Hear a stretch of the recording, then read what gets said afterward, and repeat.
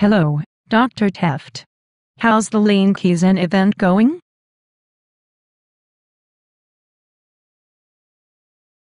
We're wrapping it up.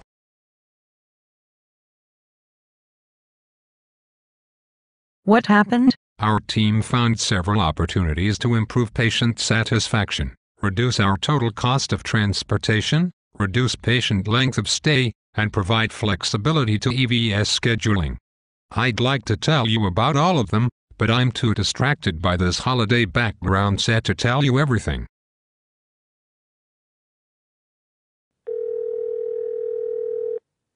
Okay. Well, can you tell me something? The team focused on two issues. Eliminating the cycle of repeated phoning, filling out, faxing, and phoning again of transportation requests. And our poor ability to discharge patients earlier in the day, which causes an ambulance demand bubble in the afternoon and is more expensive, doesn't make beds available for others, can inconvenience patients and SNFs. Did you think about whether anyone will be interested in the team's recommendations? Recommendations?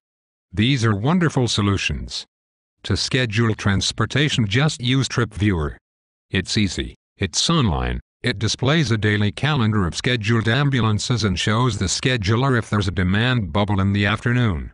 The scheduler can then arrange transport times to reduce transport expense and increase feasibility throughout the hospital. Have you had too much eggnog, Carvel? What good is that if everything isn't ready for the patient to be discharged before afternoon? None whatsoever. So that's where improving the discharge process comes in. It's a one-two punch. Whenever my colleagues can do ITRS and dictation earlier, even the day before, then the transportation can be scheduled for earlier in the day, freeing up beds, accommodating patients' families and SNFs, all while saving money. It's a win-win. No, there are more wins. It's a win, win, win. Hold it, that's only three.